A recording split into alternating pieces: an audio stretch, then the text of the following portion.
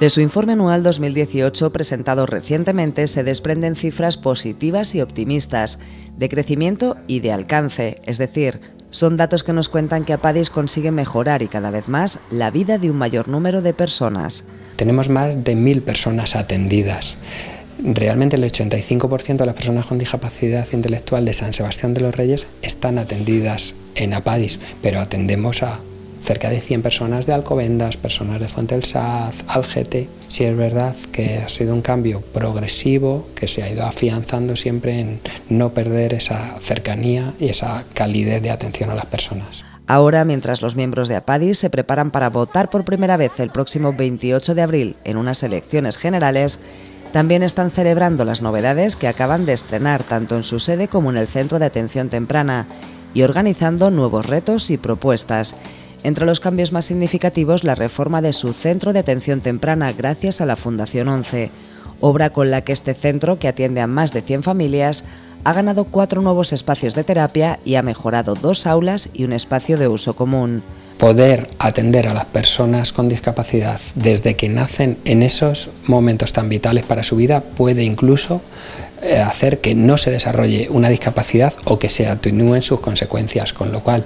en estos momentos hemos conseguido estar atendiendo a prácticamente 100 bebés, niños de 0 a 6 y gracias a la consecución de esta financiación eh, hemos podido ampliar en dos salas que generan al final mayor trabajo psicológico, terapéutico, de fisioterapia, estimulación. Muy cerca, en la sede de Apadis, también hay novedades importantes. Mejoras en algunas habitaciones de la zona residencial que ya no tienen que compartir baño. Hemos ido transformando baños que en su día fueron más comunes, fueron más para compartir,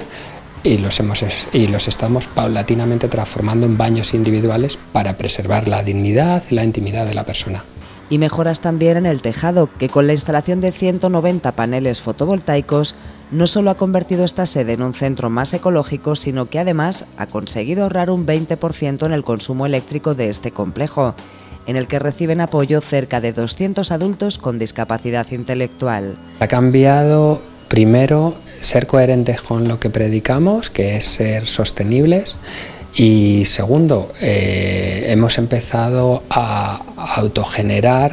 en torno a un 20-25% de energía que ya no tenemos que tomar de la red, con lo cual nuestro recibo de la luz, que era muy alto porque es un centro muy grande, el de Avenida de Aragón, pues nuestro recibo se ha visto un poquito aligerado. Y bueno, ese dinero, nosotros somos una empresa sin afán, una entidad sin afán de lucro, siempre se vuelca en generar mayores actividades y mayor, calidad de vida para las personas. Más de 35 años lleva esta asociación fundada por familiares de personas con discapacidad intelectual prestando servicio desde San Sebastián de los Reyes tiempo en el que han crecido fieles al objetivo que se plantearon en el origen de recibir y aportar a la ciudad en la que viven. Al final nuestra vocación es formar parte de la comunidad a la que pertenecemos, por eso en un momento dado siempre nos pareció más importante utilizar la piscina del barrio que construir una. Nos pareció más importante eh, eh, abrir nuestras puertas y que la gente nos conociera porque hacemos un buzoneo, porque hacemos una carrera, pero siempre en la calle, siempre compartiendo. Por eso, entre otras acciones, nos invitan a participar en un nuevo mercadillo de primavera que complementa su tradicional mercado navideño y que estrenarán el próximo 26 de abril desde las 10 y media de la mañana en la puerta de su sede, un mercadillo en el que podremos encontrar regalos hechos a mano, pequeñas obras de arte en las que ya están trabajando. Nuevos productos realizados por los artesanos de centro ocupacional,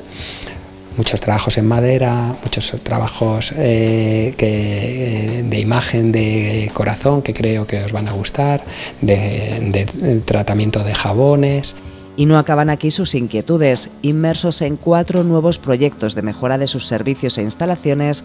desde su página web, Apadis nos anima a participar en sendas campañas de crowdfunding, entre las que destaca por motivos evidentes el techado de la pista deportiva que hay en su sede,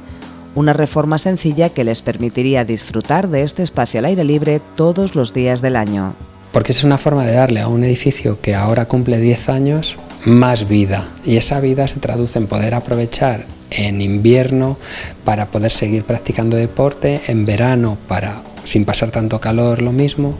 para poder cerrar nuestra eh, bonita y famosa carrera por la inclusión con esa paella con nuestros socios y también para proteger los vehículos de las rutas de las personas con discapacidad de las inclemencias del tiempo.